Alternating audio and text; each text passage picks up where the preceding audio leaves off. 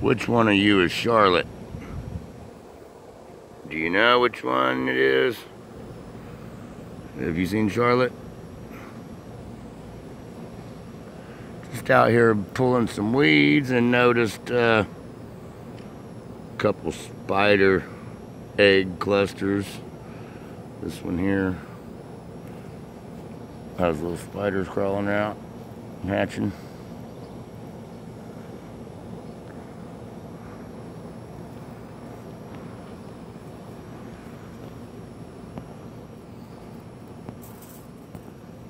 Tiny, tiny little spiders. Anyway, oh, they're everywhere. There.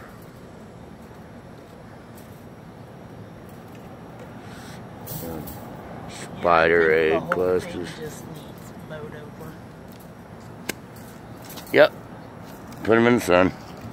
Let the birds eat them.